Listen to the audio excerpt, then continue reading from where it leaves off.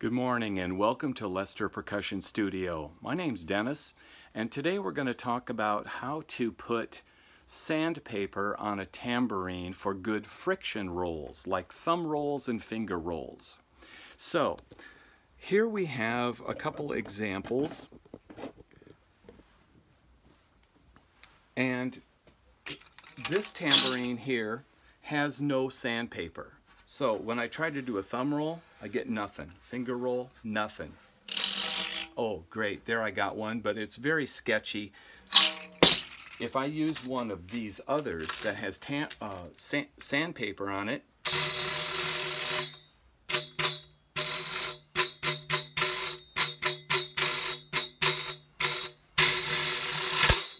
never fails.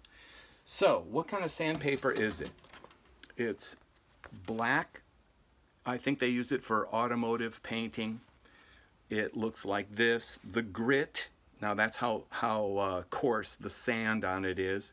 Grit of this one I chose is 320. Doesn't have to be exactly 320. It can be a little little lower number than that, little higher number than that, but that's a good number to start with. 320 grit.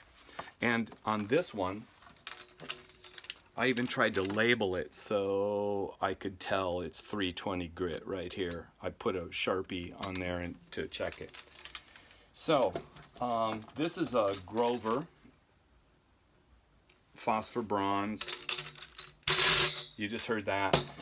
Once upon a time, before Grover and Black Swamp all existed, Ludwig used to make some nice tambourines, and this one's silver.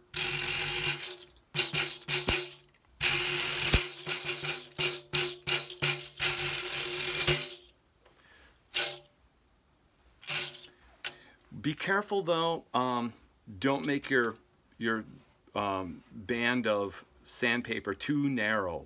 I think I just replaced one of these a little while ago. That's why this one's extra wide. If you're watching your music, reading, and you miss, you can mess up a part. Okay, so here's how I did that. Like I showed you the sandpaper. So I, right now I'm going to use a, a, sheet of white paper just as an example of, of the steps I went through to make this. First thing I would do is set the tambourine on the paper, get a pencil and trace around the tambourine. So I got a circle now. Then I get a scissors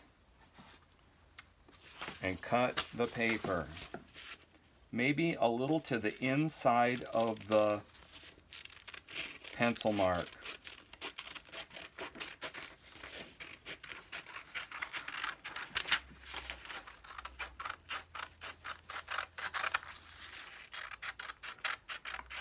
That way you won't have sandpaper hanging out over the edge of your tambourine. So make it just a hair smaller. So now, got that, and put the paper on the tambourine, get my pencil again, and decide how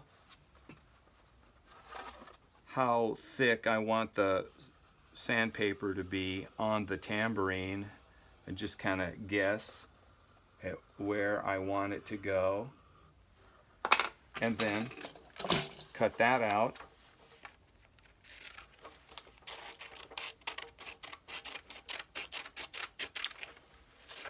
I'm, I'm hurrying just so this video doesn't go too long and I'm not really good at editing yet.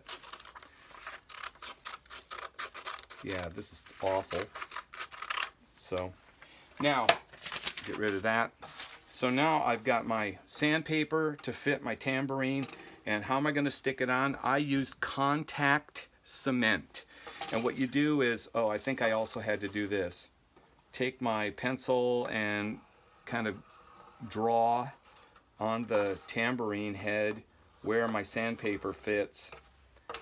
Then you take contact cement and you butter it on both surfaces, the, the tambourine head and the inside of your sandpaper, and then line it up good. You might want to start in the center and then ease it down because when contact cement touches the other one, they stick and there's no adjusting. You got to be pretty accurate when it goes down. And then put something heavy on it and let it dry for a while and you're good to go. So that's how I did both of these. And so uh, I would recommend that you do that. Sandpaper never fails. Every time. Good friction rolls. So take care. Uh, please uh, consider liking and subscribing Lester Percussion Studio, DIY tips from old drummers, and I'll have some more videos coming up. Thanks a lot. Bye.